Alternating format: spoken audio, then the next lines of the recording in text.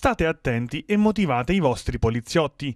C'è un pericolo diffuso di terrorismo non strutturato, messo in atto da persone con problemi che vogliono emulare e nessun luogo immune, neanche l'Aquila.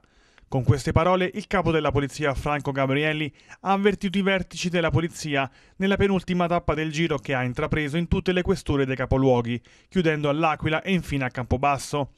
L'Aquila è ritenuta città non particolarmente a rischio, ma il pericolo c'è ovunque e comunque.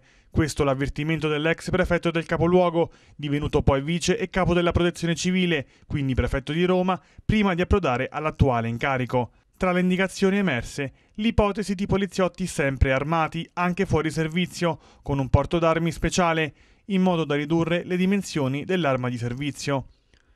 Nel suo stile comunicativo, ben noto in città dai tempi in cui assunse la guida della prefettura la mattina del 6 aprile 2009, Gabrielli ha voluto portare tutti i vertici della polizia a conoscere il territorio italiano.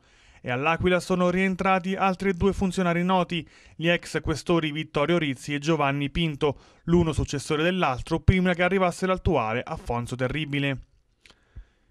Il programma della mattinata è stato denso, prima l'incontro con i dirigenti degli uffici di polizia della regione e della provincia, poi quello con il prefetto Francesco Alecci, infine una riunione con le organizzazioni sindacali che si è rivelata intricata. I sindacati hanno lamentato l'annosa carenza di personale, ma stando a quanto appreso è stato anche rilevato che a fronte di problematiche in effetti esistenti, l'Aquila si trova meglio rispetto a questure di dimensioni simili, ma con piante organiche ancor più ridotte all'osso.